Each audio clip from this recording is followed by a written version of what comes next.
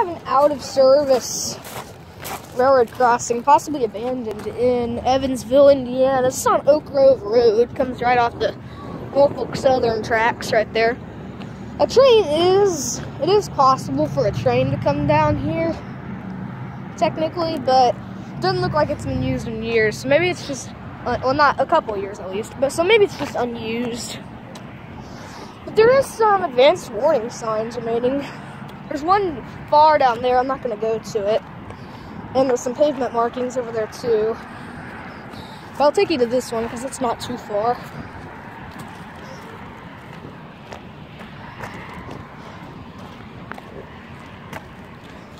Oh, actually, there's a derail over there, so yeah, this is our service track.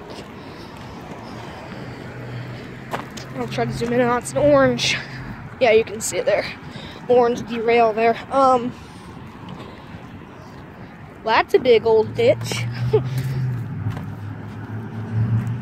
Who built that hole? That's, oh, that's a, yeah, it is a ditch. Jeez. I'm gonna run over here because I'm kind of tired of walking all of a sudden. So yeah, there's still advanced warning signs for this crossing, and they're not too bad shape either. So that's that. And there's the pavement marking, and there's the same stuff down there. It's just further down. I don't want to go to it. It's the same stuff. So now I'll show you guys the tracks.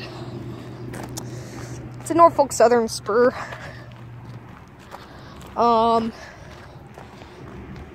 if that derail were not in the way, I'm I I think a train would probably be able to come down this track. It's really not in bad condition. It's no, not really any overgrowth.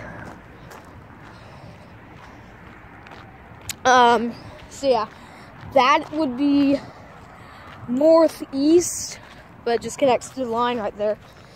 And that is south towards the end. I'll show you guys where it goes in a second.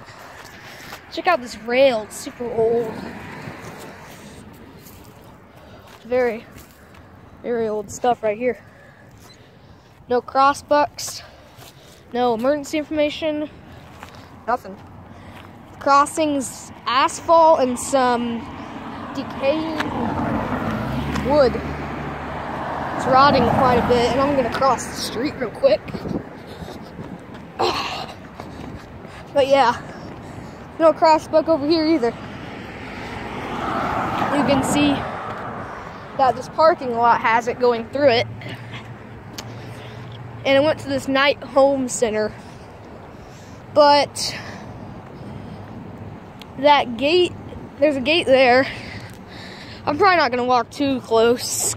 But I don't, I don't know if they're open since there's no one in the parking lot, but just in case, I'm not gonna get too close. You can see how badly conditioned these tracks are. And it's all concrete in the parking lot. And then there you go.